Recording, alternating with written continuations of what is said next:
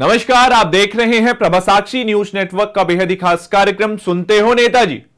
मध्य प्रदेश के मुख्यमंत्री कमलनाथ को कोरोना ने तो फौरी राहत दे दी, लेकिन फिर मामला सुप्रीम कोर्ट पहुँचा। सुप्रीम कोर्ट ने कांग्रेस नेतृत्व वाली कमलनाथ सरकार को नोटिस भेजा और जवाब मांगा। दरअसल, प्रदेश के पूर्व मुख्यमंत्री शिवराज सिंह चौहान ने फ्लोर टेस्ट कराए जाने की मांग को लेकर याचिका दायर की थी। अब इस मामले में बुधवार को साढ़े दस बजे फिर सुनवाई होगी। आज हम इसी विषय पर चर्चा करेंगे, क्योंकि पिछले कई सालों से हम फ्लोर टेस्ट नामक शब्द को सुनते आ रहे हैं। पहली बार कब हुआ था फ्लोर टेस्ट? हाल के कुछ वर्षों में हमने कर्नाटक, महाराष्ट्र में फ्लोर टेस्ट की तस्वीरें देखी, और अब यह मामला मध्य प्रदेश पहुँच चुका है। लेकिन इसकी शुरुआत कब हुई थी, इस पर जरा गौर कर लेते हैं। साल उन्नीस सौ नवासी से पहले फ्लोर टेस्ट नाम का कोई टर्म ही नहीं होता था। सीधे राज्यपाल द्वारा सरकार बर्खास्त कर दी जाती थी, लेकिन उन्नीस सौ नवासी में कर्नाटक की मुंबई सरकार को बर्खास्त कर दिया गया था, जिसके बाद वह सुप्रीम कोर्ट पहुँचे थे और फिर पाँच साल बाद कोर्ट ने फ्लोर टेस्ट को अनिवार्य कर दिया। इस मामले पर सुप्रीम कोर्ट में कई सालों तक सुनवाई चली और फिर कोर्ट ने अपना फैसला सुनाया। कोर्ट के मुताबिक बहुमत साबित करने का एकमात्र तरीका फ्लोर टेस्ट होता है। मतलब साफ़ था। अगर सरकार या मंत्रिपरिषद संदेह की स्थिति में है तो फिर विश्वास हासिल करने का एकमात्र तरीका फ्लोर टेस्ट है। विशेषज्ञ बताते हैं कि आज़ादी के बाद कई सारी सरकारों को संदेह के आधार पर बर्खास्त कर दिया गया था। लेकिन फिर कर्नाटक को लेकर सुप्रीम कोर्ट के फैसले के बाद स्पष्टता आई कि संदेह के आधार पर विधानसभा के भीतर ही विश्वास हासिल किया जा सकता है।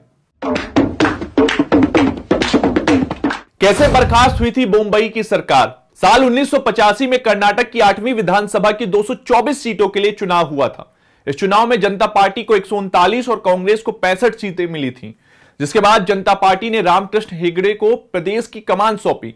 लेकिन फिर फ़ोन टैपिंग मामले की वजह से साल 1988 में रामकृष्ण हेगड़े को इस्तीफा देना पड़ा। इसके बाद एस आर मुंबई को प्रदेश का मुखिया बनाया गया, मगर उन्नीस सौ नवासी में तत्कालीन राज्यपाल पी वेंकट सुबैया ने सरकार को बर्खास्त कर दिया, जबकि मुंबई लगातार यह दावा करते रहे कि उनके पास पर्याप्त बहुमत है। बाकी आगे क्या हुआ, हमने ये तो आपको बता ही दिया है। हाल ही में मध्य प्रदेश सरकार भी सियासी संकट का सामना कर रही है।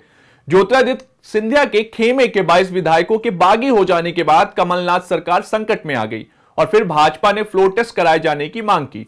राज्यपाल लालजी टंडन ने पत्र लिखकर बहुमत साबित करने के लिए भी कहा, लेकिन कोरोना का हवाला देते हुए विधानसभा अध्यक्ष एनपी प्रजापति ने 26 मार्च तक के लिए सदन को स्थगित कर दिया। 26 मार्च, यानी कि राज्यसभा चुनाव की तारीख।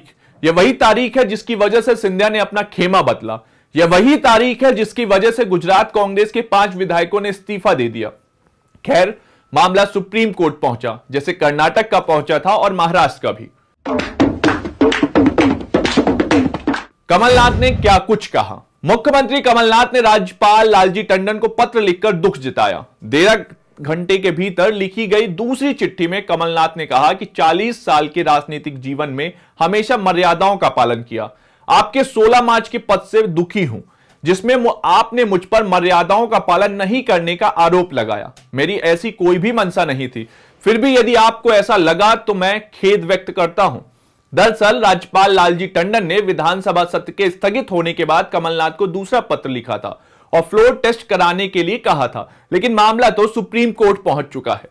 एक दिलचस्प बात और, कि एक तरफ़ कांग्रेस के 22 विधायक बागी हो गए हैं तो वहीं भाजपा के नारायण कमलनाथ से मिल रहे हैं। भाजपा के विधायक नारायण त्रिपाठी को कमलनाथ इतने ज़्यादा भाग गए हैं कि उन्होंने साफ़ कहा है कि जो भी मैहर को जिला बनाएगा, हम उसके साथ हैं। अगर भाजपा विधायक पाला बदलते भी हैं तो शिवराज सिंह चौहान को नुकसान नहीं होने वाला है, क्योंकि उन्होंने सोमवार को 106 विधायकों की परेड राजभवन तक लगवा दी थी और दावा किया है कि उनके पास पर्याप्त संख्या बल है। कल भारतीय जनता पार्टी के विधायकों ने सशरीर गवर्नर साहब के सामने परेड की है। संख्या का गणित स्पष्ट है। यह सरकार बहुमत खो चुकी है। और भारतीय जनता पार्टी आज उपलब्ध विधानसभा की संख्या के हिसाब से अब बहुमत में है। इसलिए फ्लोर टेस्ट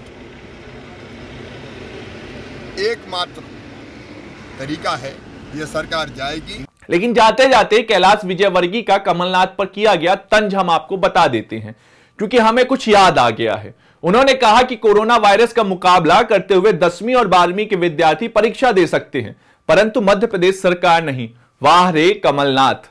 अब बाकी का जो भी स्पष्टता है, वह कल हो पाएगी, क्योंकि साढ़े दस बजे सुप्रीम कोर्ट इस मामले पर सुनवाई करेगा। आज के लिए इतना ही। कल फिर होगी आपसे मुलाकात। तब तक देखते रहिए प्रभा साक्षी न्यूज़ नेटवर्क। धन्यवाद।